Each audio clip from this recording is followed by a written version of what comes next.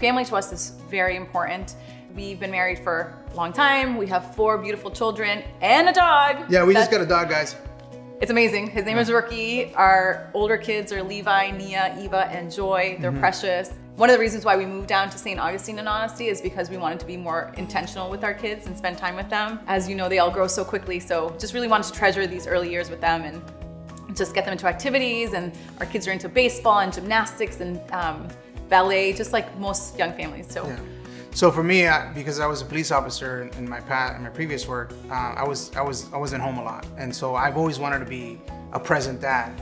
So you know, working with, uh, from home or like working in, in real estate has allowed me to do that. That it gives me that flexibility. Um, so yeah, I love being a dad. It's the hardest job in the world, but it's the most rewarding. I think we're pretty good at it.